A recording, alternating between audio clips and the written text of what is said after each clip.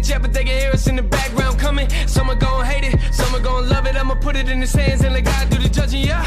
Remember me and you always had you in the What is up guys, it is your boy Care One and today I am back with another video. And in this video, I'm talking about the time I got shot at. Okay, so this story actually took place where I used to live a few years ago. Um, this doesn't take place, because where this took place is way off from where I live now, because this isn't even in the same state. But, um, yeah, it was me, my brother, um one of his friends and no a few of his friends and some of my friends and during that time most of these most of the stories I tell it has something to do with my brother and a few of his friends because me and my brother used to always hang out a lot and so my brother had my brother's friend had another friend that we could go and get and his neighborhood was right behind ours but in his neighborhood but to the what separated our neighborhood from their from his neighborhood from besides the road was a uh, freaking lake and so we didn't feel like uh, going walking on the road because you know fucking cars. And so when we decided to take the lake there was like a little bit of grass going around the lake but then my brother and his friend decided to take the road um, route. So after that, me and Mark, we we come across this backyard, and there's like a little tin outhouse barn thing. I don't know what you want to call it, whatever you, whatever you want to call it.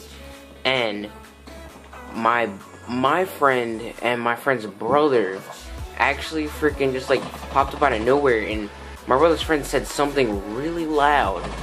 And the lady who must have owned the house or was renting it um, she came out and was like, what y'all doing back here? And the minute she said that, she like shot her pistol and my brother's head was like sitting right by the little tin outhouse thing. And like the bullet like went inside the tin outhouse, but it was like right near my brother's face. At this point in time, I freaking shat my pants, so we start running. We just gas it. And then we hear another gunshot. And we don't know if that hit any, we didn't know if that hit any of us or anything.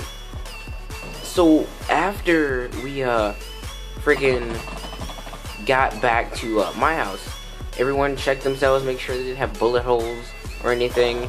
And we're like freaking, that was a close call, man. We but we all could have died. So we just ended up getting our uh, my brother's friend. He, we ended up convincing him to get his mom to drive him to wherever for the neighborhood where we lived because we were not about to try to go back around there.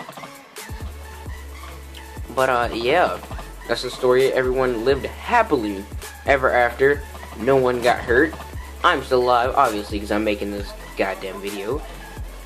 I don't, I don't know where I was going with that, but uh, and that is it for this video, guys. I encourage you guys to uh, drop a like, subscribe, leave a comment down below, and uh, I will see you guys in the next video. Peace.